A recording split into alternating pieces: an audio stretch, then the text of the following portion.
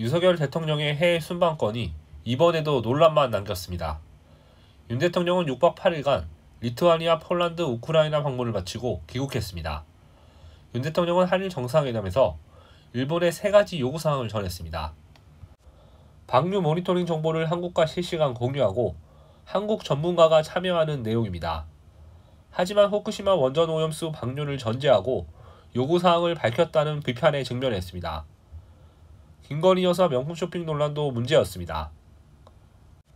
국민 세금으로 이뤄진 해외 순방 중 현지 국가의 명품 매장을 찾은 것은 적절치 못한 처신이라는 비판이 쏟아졌습니다.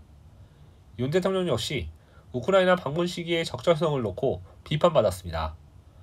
야권을 중심으로 집중호우로 국가가 큰 위기에 빠진 상황에서 꼭 이때 연장해야 했냐는 여러 비판이 나왔습니다.